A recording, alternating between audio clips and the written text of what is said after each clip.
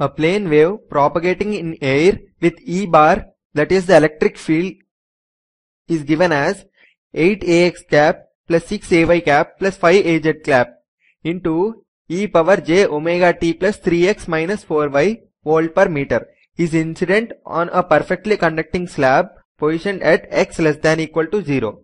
The E field that is E bar of the reflected wave is the options are minus 8ax cap minus 6ay cap minus 5az cap into e power j omega t plus 3x plus 4y volt per meter.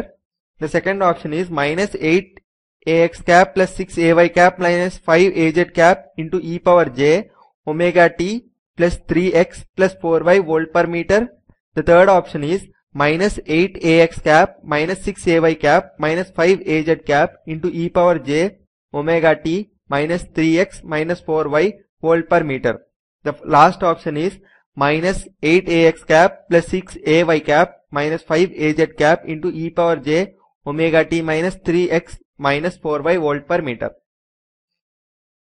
In this question what he has given, he is first incidenting a E field on some conducting slab and which is placed at x less than equal to 0. Now he is asking what is the E field for the reflected wave. For this you should understand some theory before. Let us say take a slab which is placed at x equal to 0. Let us call this part x less than 0 and x greater than 0. This is a perfectly conducting slab. Draw a normal to this slab. Now I am incidenting a wave in this direction and some part of the wave gets transmitted to it and some will be reflected into the space again. That is E incident I will call this and E reflected I will call this is E transmitted. From the result of electromagnetics, we know that E incident plus E reflected is equal to E transmitted. This is a standard result from electromagnetics, right? Now, a perfect conductor, for a perfect conductor, E transmitted is equal to 0. Perfect conductor does not take any electric field inside it. For perfect conductor I will write E transmitted is how much? 0. Therefore no transmitted field is there. Therefore ETR is equal to 0 for this case. So what can I write? EI equal to minus E reflected. What is the incident wave? E bar is given as 8ax plus 6ay plus 5az. Therefore what is E reflected? E reflected equal to minus E incident which implies minus of 8ax plus 6ay plus 5az into e power this thing. Also remember here he has given e power j into 3x.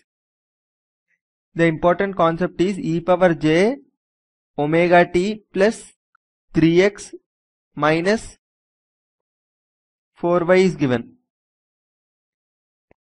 Separate this. If you separate this, you will understand. Now, he has incident on what? x equal to 0. Up till here, it was traveling in this direction. Here, it is traveling in this direction. Therefore, previously it was e power minus j 3 times minus x. Now, the standard way is e power minus j alpha x. This is the standard way. e power minus j into alpha into x. It was previously minus x. Therefore, you got e power j 3x. Now direction is changed because of this because it is coming in the opposite direction. It is coming in this direction. Therefore you should keep e power what is there previously that minus e power j 3x was there opposite previously. Therefore now it will become e power minus j 3x. Now it will become e power minus j 3 into minus x direction is converted to x. Therefore e power minus j 3x. So what should I write here? Minus 3x and minus 4y. Okay, y, y is not affected at all. Only x is affected. Since you are incidenting on x equal to 0 plane. Therefore, what is the final answer? This.